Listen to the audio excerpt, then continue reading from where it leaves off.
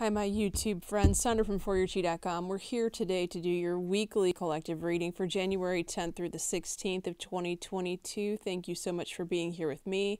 And thank you for those of you that have subscribed to me on Patreon. I'm greatly appreciative for all of you. Thank you so much for supporting me and my work. And if you want to check that out, I'll leave it in the description box below. But let's get to your week. Finally, finally, we have a great week. I love it. So, the first card, Monday and Tuesday, recognition and reward, means pat yourself on the back for a job well done. You are gaining something, and it is something to be proud of Monday or Tuesday.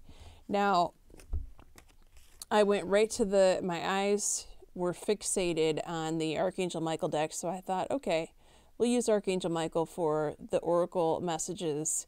You have prayer will help the situation. So, whatever it is that you're gaining Monday or Tuesday, and it's something to be proud of, there's also some element of asking, however you ask, and whomever you ask or put the request out to,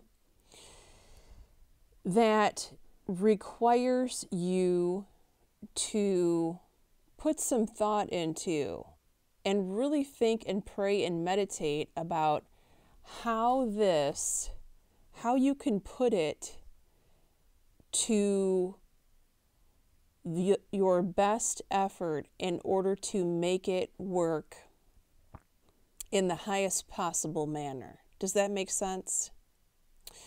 So, whatever you're gaining, you don't want to waste. You want to plant it if it's a small amount of money so that it will grow, right? If you need to spend it, okay, then that's another story. But I feel like this is going to be more than just your average extra $250 bonus.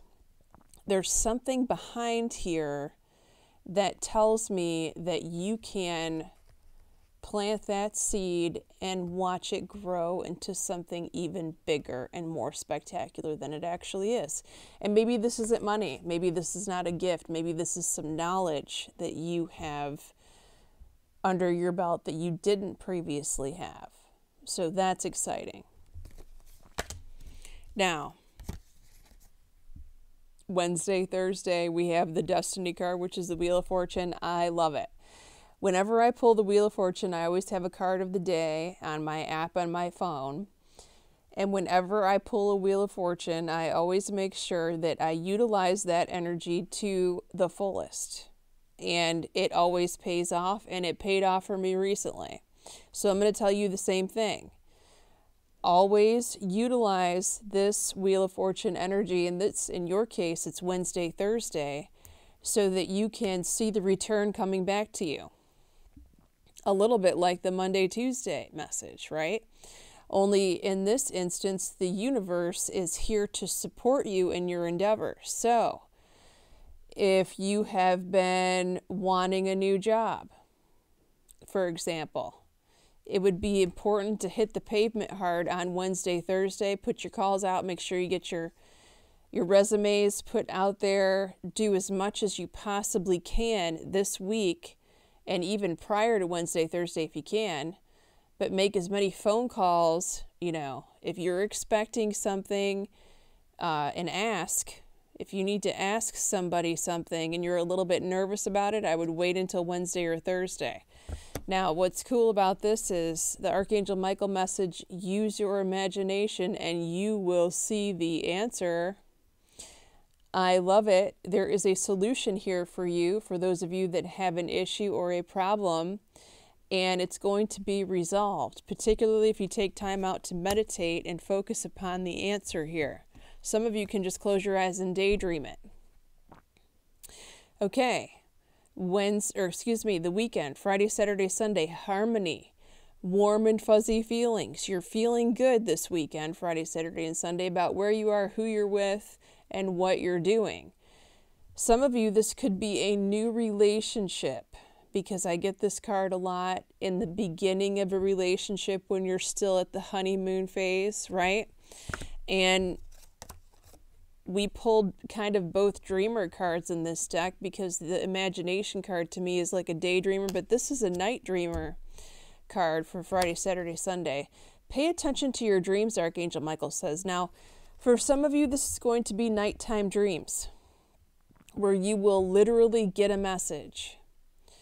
And it's going to be important for you to pay attention to what that message is. But for some for others of you, this is going to be pay attention to your heart's desire kind of dream. Because with this energy this week and these messages, you can actually mold what you are wanting into fruition here. I would definitely not take pick this week to slack off if at all possible. It is going to be time this week to make as many strategic chess moves, so to speak, as you possibly can.